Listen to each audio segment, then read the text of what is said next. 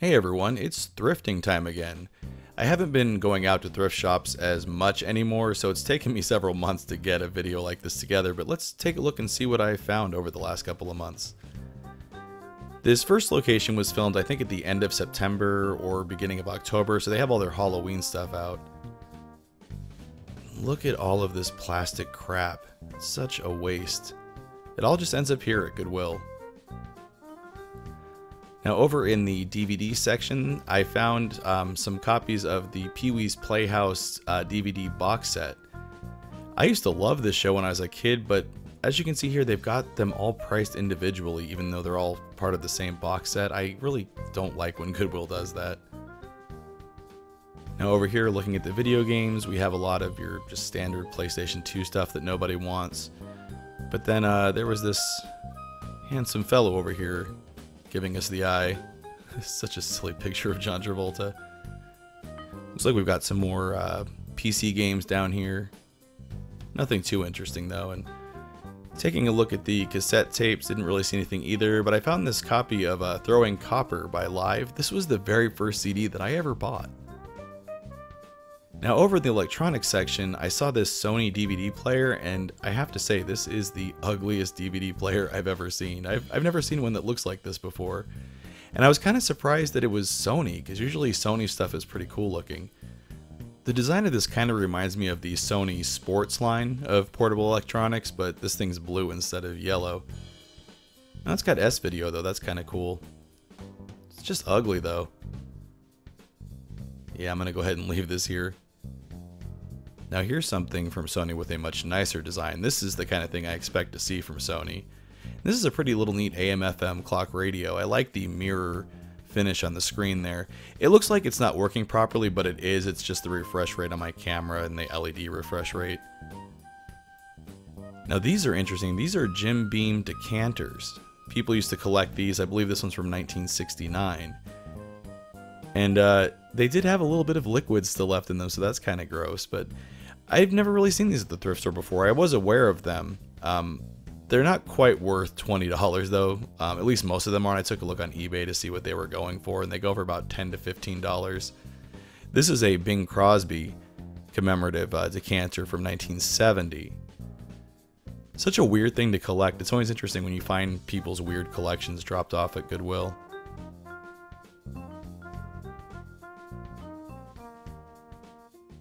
I think out of all of them, this is my favorite decanter because it's from the Fiesta Bowl, so it has an Arizona connection. I always find a lot of Fiesta Bowl stuff at Goodwill. Now here's an old Sears Kenmore sewing machine. This is from the 1970s, I believe, based on the logo. I couldn't find an exact model number on it, but this was just kind of interesting because it's topless, so you can see the inside mechanisms and everything and kind of see how it works.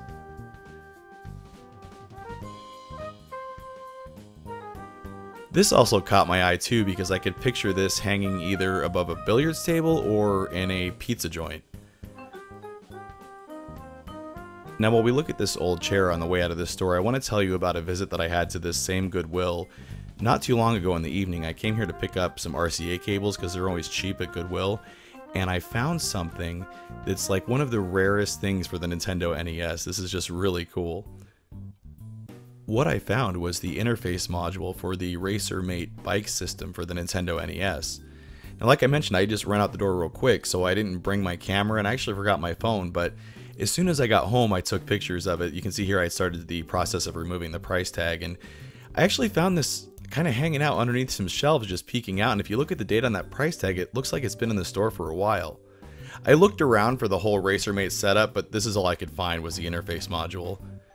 Here's some pictures of what the whole setup looks like. You put your bike in that frame thing, and then everything hooks up to the NES through a cartridge in that interface module. This is one of the rarest accessories for the Nintendo NES, so it's really cool that I found the at least the interface module at Goodwill. Now here's a look at it all cleaned up. I got the price tag off of it and really I have no idea what to do with this thing. I'm probably just going to keep it on my shelf as like a piece of shelf candy, but I'm sure a collector somewhere out there maybe needs this interface module to complete the RacerMate set that they have. So I may end up selling it later on down the road. Alright, let's move on to our second Goodwill location. And this is one of my favorites too because I usually find lots of weird stuff here. And this is something that I always think is weird at Goodwill when I see picture frames and things donated and they have people's photographs still in them. Like, I wonder what the story was behind this picture, like where they were getting ready to go. Let's take a look over at the video games, and there's a lot of Wii and Xbox stuff. Pretty used to seeing that at Goodwill now.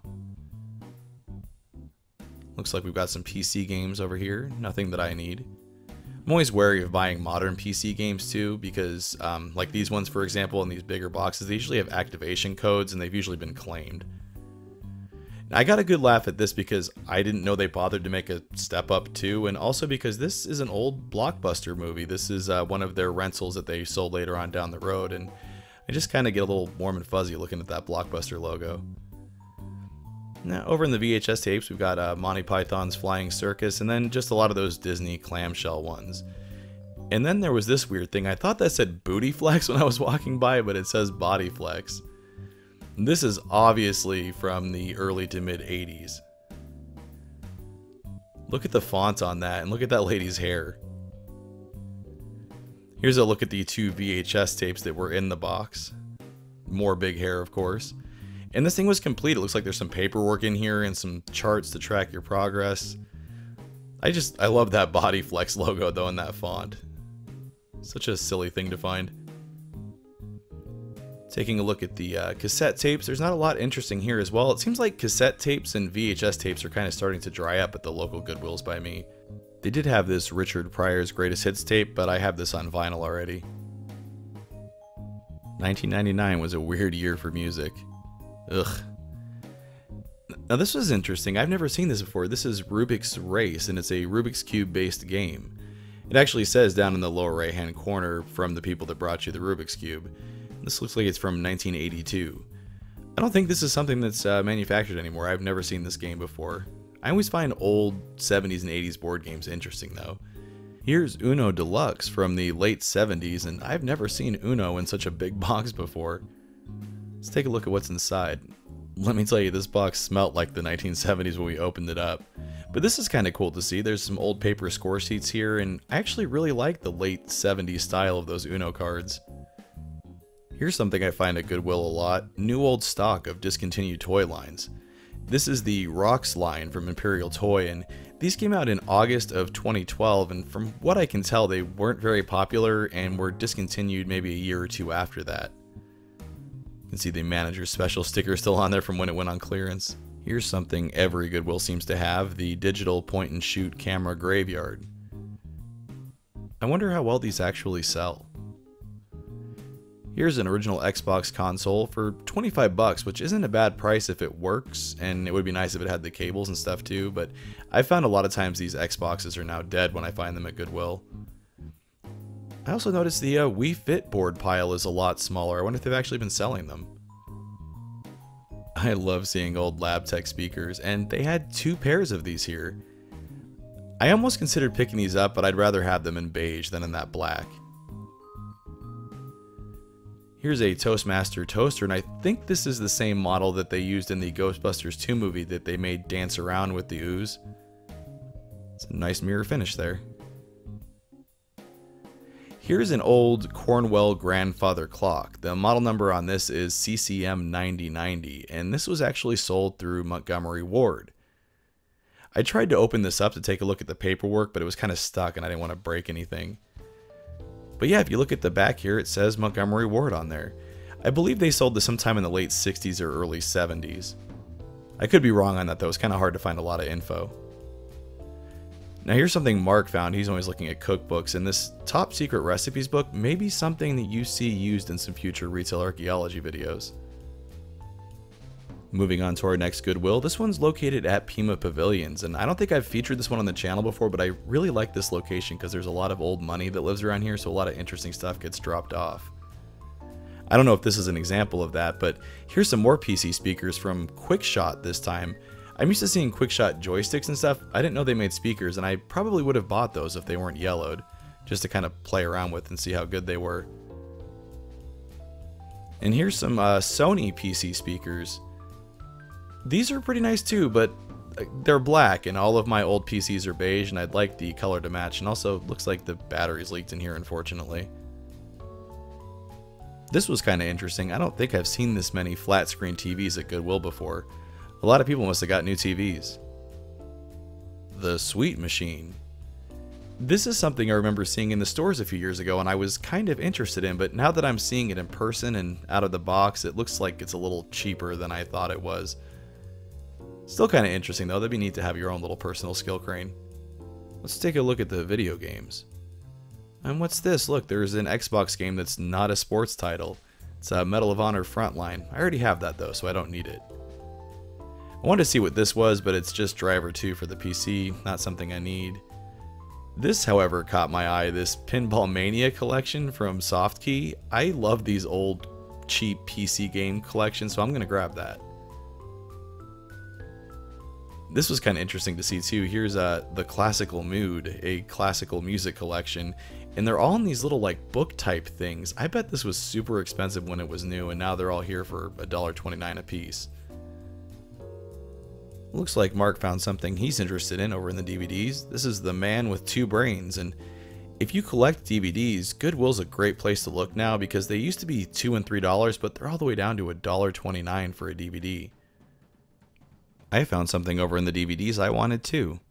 I found Halo 2, which should have been over with the video games. This is the limited collector's edition. I have Halo 2, but this is a much better condition copy and it's complete. It's also only $2.99, which is cheap for this. I'm getting it.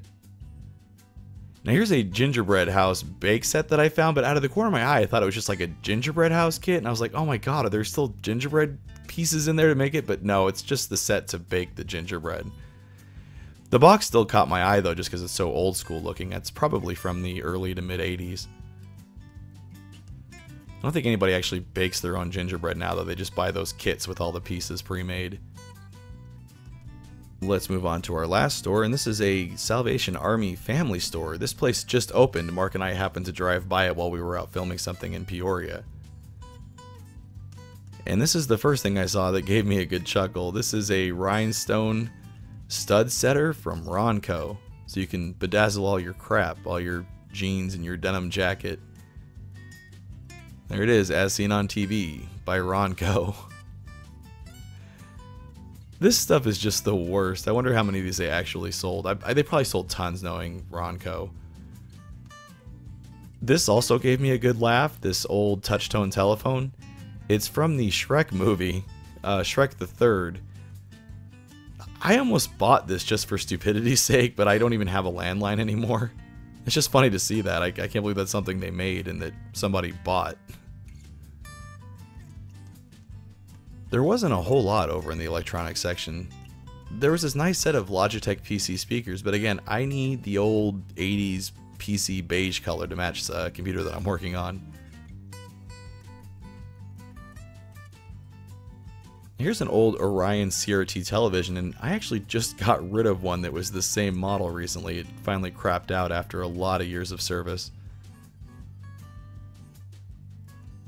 And here's a neat Sony boombox. I'm actually on the lookout for one of these, but not one so modern looking. And also the tape player on this one ended up not working. Still would be pretty neat though for a little boombox for your kitchen or something though. It sounds pretty good. Just not quite what I'm looking for. Let's see what they've got going on in the old furniture area. Oh look, it's your grandma's couch. Or uh, maybe this was your grandma's couch. Or that one there. It's all grandma couches here at the Salvation Army thrift store. This store really wasn't very big though. It's probably half the size of a lot of the Goodwills I go to, and then they had stuff kind of far, you know, spaced out, so it didn't take us very long to go through the store with how small it was. Now here's the media section, and this is something I like to see when they just have like a flat price for CDs and DVDs and things, because oftentimes you can find some really great, you know, computer games and video games much cheaper than they should be because they've just flat priced them just like it's a DVD. Unfortunately, the only video game that I found here was this copy of Tiger Woods PGA Tour 2001 for the PlayStation 2. Definitely don't need that. Well, I think this was the most underwhelming of the four thrift stores we looked at in this video. Let's go ahead and head on out now and take a look at what Mark and I picked up. So here's Mark's pickups. He got that top secret recipes book and then that The Man with Two Brains DVD. And also, like I mentioned, you'll probably see that Best of Top Secret Recipes book appear in some future episodes of Retail Archaeology. Now here's what I picked up. I picked up Halo 2, the limited collector's edition, and then that Pinball Mania compilation. This Halo 2 is in really great shape. The only thing it's missing is the slipcover that goes over the steelbook, but there's not really any dents in it, and it is complete. It has the game as well as the extra bonus DVD that came with it. And then it even has the Xbox Live advertisement, it has the manual, and then it has a little extra booklet that came with the collector's edition as well. So I'm really happy to have this, especially for $3. It usually goes for about $20 on eBay. And then the other thing that I grabbed is this uh, Pinball Mania collection. I love these cheap little Softkey releases, so I'm pretty happy to add this to my collection as well.